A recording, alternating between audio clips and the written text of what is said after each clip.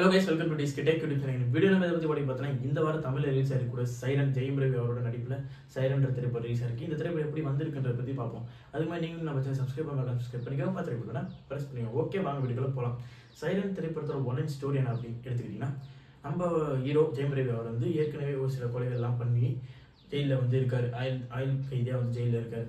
அப்போ வந்து பருவில் வந்து வெளியே வராரு. ஒரு பதினாலு நாள். அப்போ அவர் வெளியே வந்து அந்த பதினாலு நாளில் வந்து அவரோட குழந்தைய பார்க்குற அந்த தருணங்கள். அதுக்கப்புறம் அவர் வந்து பதினாலு நாட்களில் வரக்கூடிய பல கொலைகள். இவர் தான் பண்ணுறாரோ இவர் வந்து அவர் வந்து பதினாலு நாட்களில் தான் கொலைகள் வந்து அதிகமாக நடக்குது.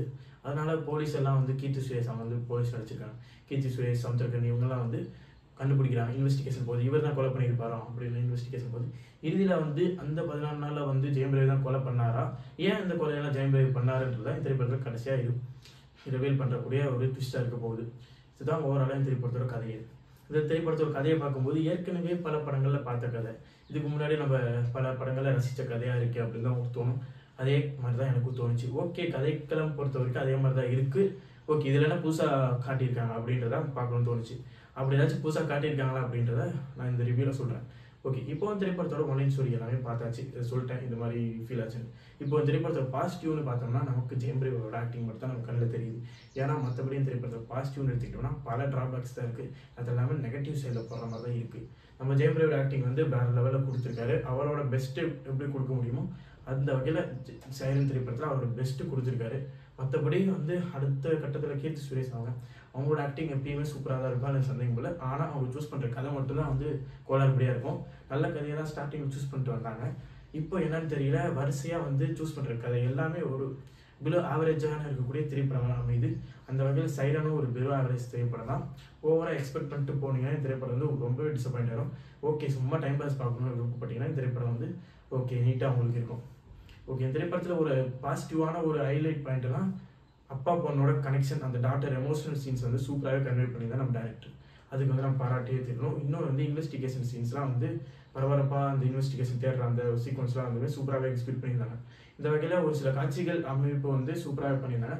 ஆனால் ஸ்க்ரீன் பிளே டோட்டலாக வந்து ஸ்க்ரீன் பிளே நகர்த்த விதத்தில் வந்து நம்ம டேரக்டர் வந்து ரொம்ப சரியாக கொடுத்துட்டாங்கன்னு தான் சொல்லி ஆகணும். ஸ்க்ரீன் பிளே நகர்த்துற விதம் வந்து கொஞ்சம் வந்து இன்னும் இதில் இம்ப்ரூவ் பண்ணியிருக்கலாம். இல்லை அங்கங்கே வந்து பல படங்களில் நமக்கு இந்த மாதிரி தான் நம்ம கண்டினியூஸாக பார்த்துட்டு இருக்கோம். ஒரு புதிய விதமாக ஏன் வேறு ஏதாச்சும் காட்டியிருந்திருக்கலாம் ஸ்க்ரீன் பிளே பொறுத்த வரைக்கும் கொஞ்சம் டல்லாகவே போச்சுன்னு தான் சொல்லி ஆகணும்.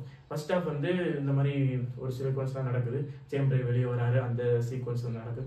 அப்போ வந்து யோகி பாபு அந்த காமெடி சீக்வன்ஸ் எல்லாமே வந்து ஃபர்ஸ்ட் ஆஃபில் சூப்பராக பிறந்தது. ஃபர்ஸ்ட் ஆஃபே கொஞ்சம் அங்கங்கே போய் ஒரு நல்ல ஃபர்ஸ்ட் ஆஃப் வந்து கொஞ்சம் நல்லா தான் இருக்கும். இன்டர்வியூ வரைக்கும் சூப்பர்ப்பா அவ்வளோதான் சைலன் ஜெயிச்சிருவோம் நல்லா இருக்கும் அப்படின்னு தான் ஒரு மனசில் வந்து ஸ்டார்டிங்கில் ஆரம்பிக்கும் போது என்ன இப்படி ஆரம்பிக்குதுன்னு நினச்சி அப்புறம் இன்டர்வியூ முடியும் போது ஆ ஓகேன்ற மாதிரி தான் தோணும். அப்புறம் செகண்ட் ஹாஃபில் தான் வச்சேன் பர் அப்பு அப்படின்ற மாதிரி செகண்ட் ஹாஃப் ஃபுல்லாக ஃப்ளாஷ்பேக் போர்ஷன்ஸ் போகும் அப்புறம் அந்த இன்வெஸ்டிகேஷன் சீன்ஸ் அப்புறம் ஏன் இந்த கொலையெல்லாம் பண்ணுறாரு அந்த மாதிரியான ஒரு கான்செப்ட்குள்ளே போயிடுவாங்க அப்போ வந்து கான்செப்ட்குள்ளே போகும்போது அந்த எக்ஸிக்யூஷன் வந்து ரொம்பவே மிஸ்டேக் பண்ணுறாங்க சொல்லிதாகனா அந்த எக்ஸிக்யூஷன் வந்து இன்னும் நல்லா பண்ணியிருந்தாங்கன்னா படம் வந்து இன்னும் நல்லா இருந்திருக்கும்.